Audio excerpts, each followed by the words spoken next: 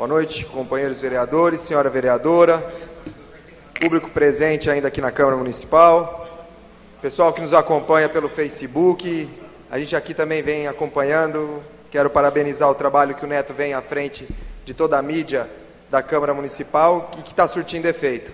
A gente está sendo visto hoje, Neto, nesse exato momento em São Paulo, em Rondonópolis e em mais algumas cidades em Rio Preto e, e é muito legal a Câmara indo ao encontro da população tanabiense em todos os lugares onde tem tanabiense. Eu acho isso muito importante.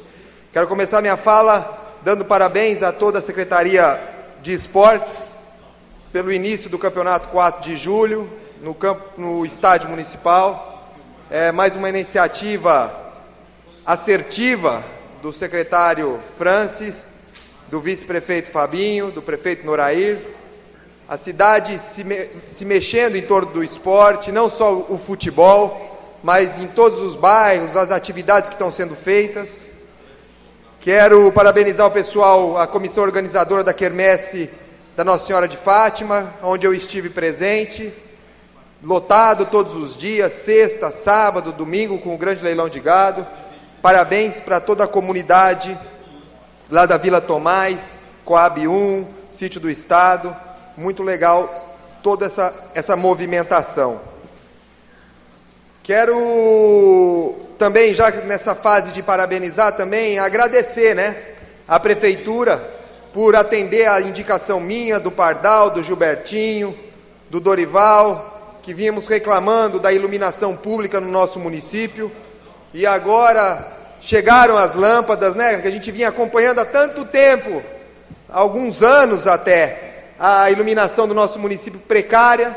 E hoje mesmo eu fui correr na Diego Carmona no final da tarde e, e senti orgulho. Foi muito, muito bom. Agradecer também porque lá na nossa comunidade, né, Tenente Osmar, lá na Nova Tanabi, a Praça Isabel Galvani também foi trocada as lâmpadas, o Padre Jamil agradeceu e eu, em nome do Padre, também quero agradecer ao Davi Góes, a todo o pessoal que vem trocando essas lâmpadas, porque realmente a gente tem que agradecer. Né? A gente via tanto descaso público durante tanto tempo e agora começa a dar sinais de que as coisas estão melhorando e eu fico muito feliz com essa troca das lâmpadas no nosso município. Como o Adivaldo já falou, é, nós estivemos em Brasília semana passada, às vésperas daquele turbilhão na qual Brasília passou, e, nós, e acredito que foi muito proveitoso. Deixamos ali alguns requerimentos, solicitando verbas para o nosso município, do Baleia Rossi, do Sérgio Reis, cobrando o que ele já havia prometido em praça pública, e agora também da nossa deputada, a Renata Abreu, que está tentando trazer dinheiro para os esportes, onde nós já fizemos uma solicitação de 150 mil, entregamos uma solicitação de 500 mil reais para que seja feita toda a parte de infraestrutura do Distrito Industrial 2, e também entregamos algumas requisições com relação a algum maquinário. Hoje eu liguei para a secretária Cecília, ela já está trabalhando em torno dessas emendas para mandar para Brasília, para que nós possamos ter êxito nessa nossa viagem. E por falar em Brasília, um marco muito importante para nós do partido do PTN, na qual eu quero que alertar todas as pessoas que estão nos ouvindo. O PTN hoje deixa de ser, a partir de 1 de julho, PTN e passa a ser Podemos. Podemos é um novo conceito na política mundial. Podemos é um partido que não representa nem direita nem esquerda, é um partido de causas. E ali eu quero chamar toda a população, principalmente os jovens que nos ouvem. O PTN não vai defender direita ou esquerda, o PTN vai defender causas em prol da sociedade. E é ali que eu quero chamar vocês que nos ouvem, que nos estão vendo ao Facebook. Venham caminhar com o Podemos. O Podemos vem defender uma veia diferente, vem caminhar com a candidatura possivelmente de Álvaro Dias para presidente da República, vem caminhar com a candidatura do Romário no governo do Estado e vem caminhar com outros novos deputados que acrescentarão a nossa bancada e que representarão essa nova ideia na política nacional e na qual nós também estamos implantando no nosso município. Quero dizer também do menor aprendiz, né? Nós fizemos aqui uma audiência pública, lotou a Câmara Municipal, e quero alertar aqui e fazer um chamado, inclusive para mim, para todos os empresários: sim, é possível contratar o menor aprendiz. E não adianta a gente ficar só esperando o poder público fazer alguma coisa pelo nosso município. Eu acho que todos nós devemos fazer alguma coisa. E começa por aí. Se cada empresário contratar um menor aprendiz por seis ou por quatro horas dia, nós vamos estar tirando esses jovens da rua que ficam tempo ocioso, dentro das suas casas, na rua, fazendo besteira, pensando besteira. A transformação da sociedade passa por nós. E nós devemos realmente arcar com esse papel, fazer esse nosso papel na sociedade. E a Câmara já está fazendo isso.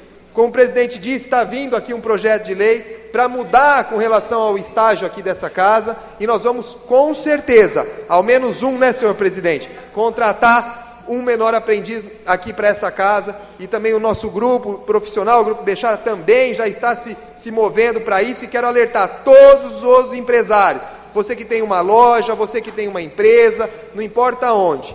Vamos fazer nossa parte e vamos começar a transformar essa sociedade. Com relação ao rodeio, eu ouço aqui alguns comentários e acho que essa é uma colocação um pouco que a gente tem que analisar friamente essa situação. Primeiro, parabenizar.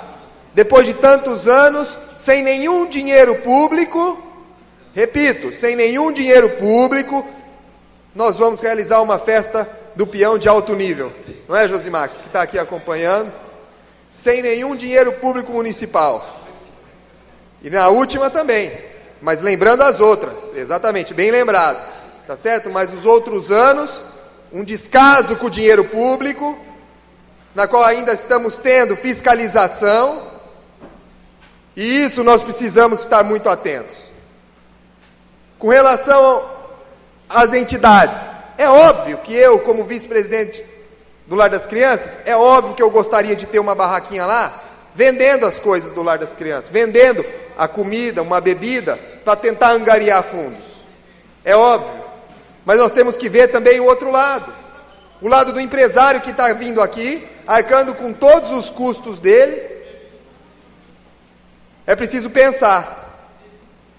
Não estou dizendo que é para cortar ou se é para colocar. Eu acho que nós precisamos dialogar com quem está vindo aqui, colocar o rodeio e achar uma forma na qual fique bom para quem está vindo aqui arcar com todos os ônus e bônus e que fique bom para as entidades. As entidades eu acho que tem que ter representatividade, mas não de uma forma impositiva. Eu acho que nós temos que dialogar e encontrar uma fórmula. Porque a primeira fórmula e mais importante é a ausência de dinheiro público. E isso o nosso vice-prefeito conseguiu. O nosso prefeito conseguiu.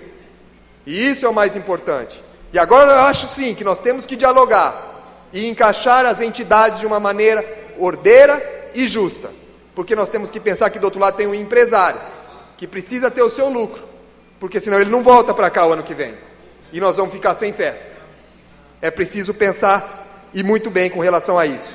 E deixo aqui os meus parabéns ao vice-prefeito Fábio, que vem costurando tudo isso e realizando e concretizando esse rodeio no nosso município. E só para efeito ilustrativo, e acabando minha fala, nós recebemos aqui a visita da Doêmia, e um dado me chamou muita atenção, e queria só apenas transmitir isso para quem nos ouve ou está nos vendo. Tanabi, uma cidade de 25 mil habitantes, aproximadamente, existem 1.200 famílias recebendo Bolsa Família. Se você colocar de 4 a 5 pessoas por família, nós estamos dizendo que aproximadamente 5 mil tanabienses hoje sobrevivem do Bolsa Família. É um dado preocupante. Nós estamos falando que 20% da população tanabiense vive hoje de assistencialismo do governo. Fique esse alerta para nós que estamos aqui legislando, para o executivo, para o empresariado, para as pessoas que estão pensando nas suas casas aí, a realidade do nosso país. E a única forma de mudar tudo isso é nos unirmos, juntos, trabalhando, no bom senso, na justiça, porque juntos nós podemos. Muito obrigado e boa noite.